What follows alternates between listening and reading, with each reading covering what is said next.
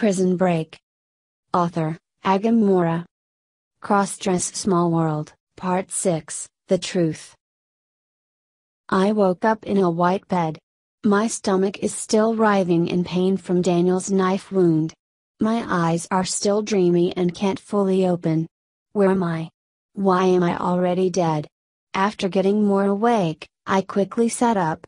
The wound in my stomach is currently covered with a bandage. I heard a familiar voice in my ear, awake? I'll locate the voice and look over it. Unexpectedly, the person who spoke up was Leon, one of my fellow prisoners. I haven't seen him since I escaped from prison. All I know is that so far, he, like me, has not been caught by the police. I asked, Why am I here?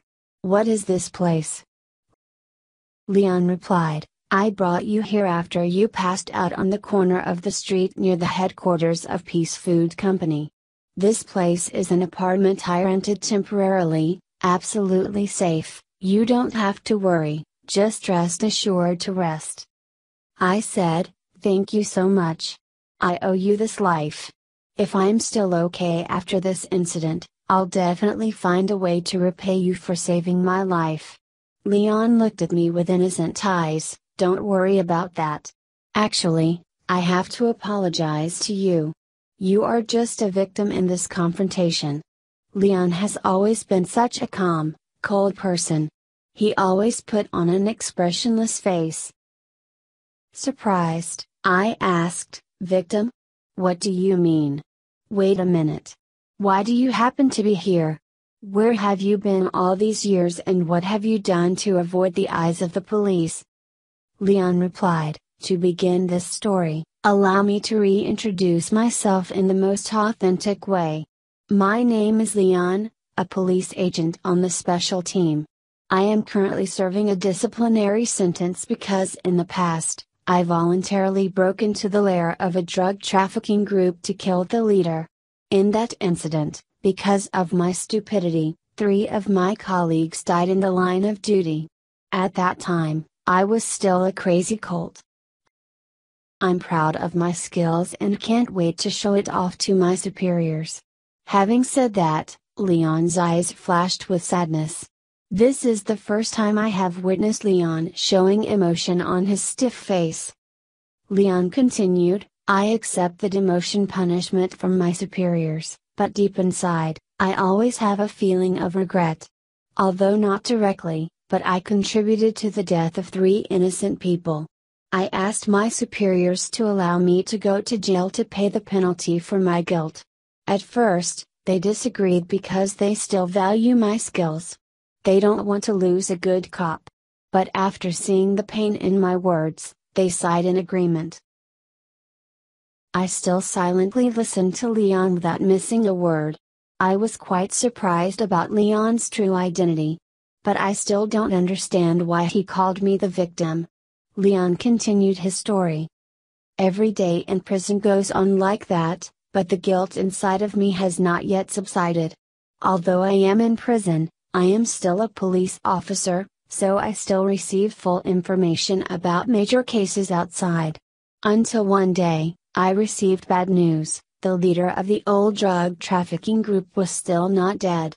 The person I killed at that time was just a guy disguised as a substitute for him.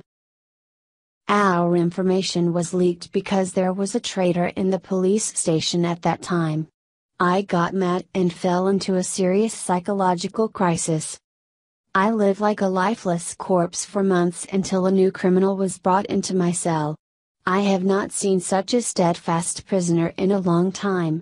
Although his body was very thin, he was constantly being used as the object of beatings by former prisoners, but he still refused to give in. I was curious, so I approached him. Through many conversations, I knew he was a master thief in disguise, caught by his teammates' betrayal.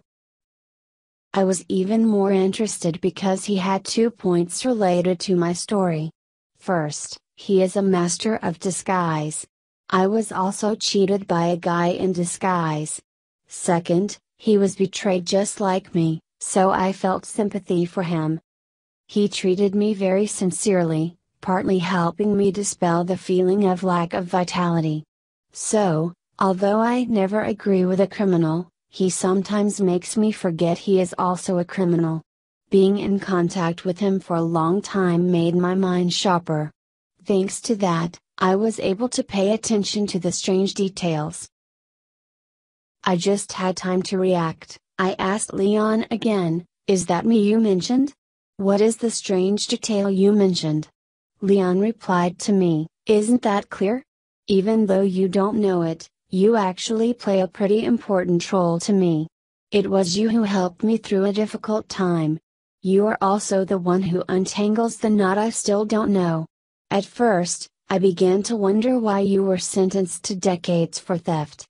Although the amount of property you stole was not small, it was not enough to receive such a severe punishment. Through your story, I know that you were reported to the police by a guy named Daniel. I began to interrogate which policeman was responsible for the incident. The results surprised me, the policeman was a guy on my team in the past. I widened my eyes in surprise, you mean the policeman who sentenced me was the one who betrayed you in the past? Leon nodded, You're so smart. He's exactly the cop who leaked the information to the old drug gang. I continued to ask, but why did he help Daniel to harm me? What did I do to him? Leon replied, It's simple, Daniel has something to do with those drug trafficking group. Don't you wonder why he developed so quickly?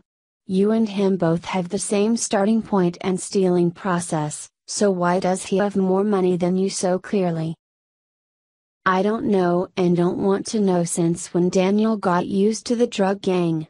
Just know that when he hurt you, he was an important pawn in the gang. I suspect, he is still gradually enticing you to join, but unexpectedly, you want to get rid of the crime too soon so he had to find a way to handle you to protect the secret. When I learned the truth, I silently informed my superiors that I wanted to continue investigating the events of the past. Only by fully resolving this case will I feel less guilt. They also happily agreed to let me take the blame. And when I heard that you wanted to organize a prison break for revenge, I pretended to cooperate to expedite the next investigation. That's why, I feel guilty for taking advantage of you. I froze after knowing the truth. I said, didn't expect such an anecdote behind my back. Turns out I was just a minor character in a big conspiracy all this time. Having said that, I laughed at myself. Leon shook his head and said, No. You are indeed a victim in the confrontation between the police and the criminal group, but you are certainly not a minor character. You have a more important role than you think.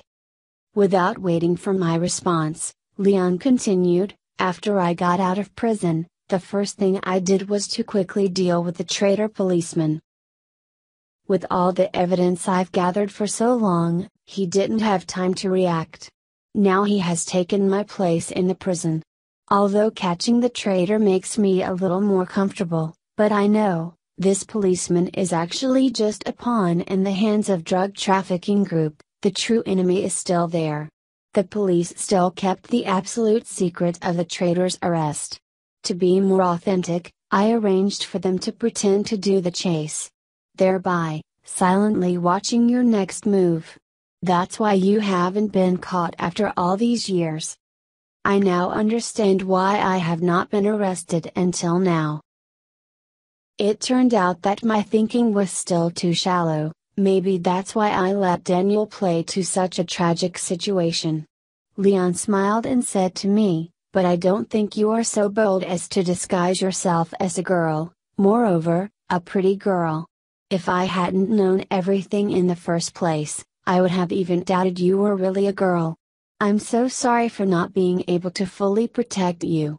Peace Food Company is a criminal nest, I cannot break in to follow you. By the time you jumped out, you were already injured. I asked, Are you the one who bandages my wound? Leon replied, Yes. Your body and lingerie set are great. I blushed and threw the pillow at him, You. You pervert. At that time, I didn't understand why I was so embarrassed when he saw through my body. He and I are both men. To be continued. Today's story would like to stop here. Thank you for watching. Please like and share for people with similar interests to motivate me to develop my channel. Goodbye and see you in another story.